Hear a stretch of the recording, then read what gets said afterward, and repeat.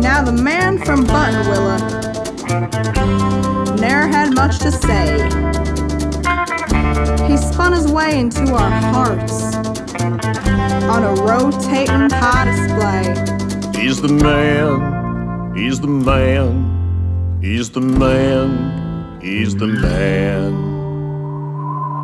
From Buttonwillow.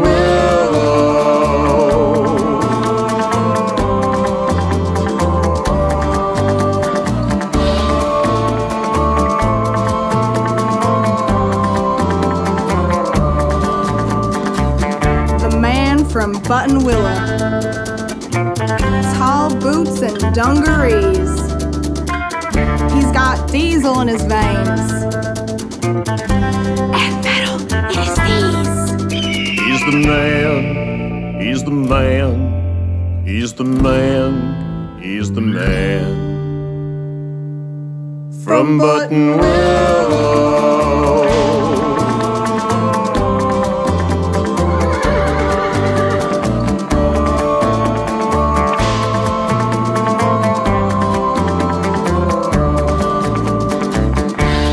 Still talk about how the man once saved Buttonwillow from the great twister of 49. It's unclear, though, how he might could have done that, because he was just a babe at the time, and anyhow, how's that even possible?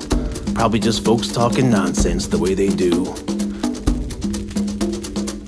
But what is clear is that he liked pie, and crossword puzzles, and baseball, and 70s sitcom themes and those little Chinese finger traps that you get at gag shops, and hair products.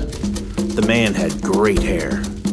Even in his twilight years, he had expertly coiffed hair. No one knows for sure how old the man is. Not a young man, I reckon. Nope. But you could tell from his thousand mile stare that he'd seen it all.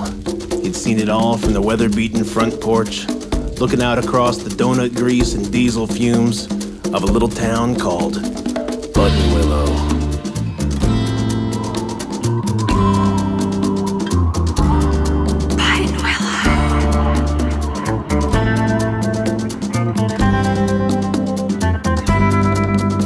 He's the man, he's the man, he's the man, he's the man. From Buttonwillow.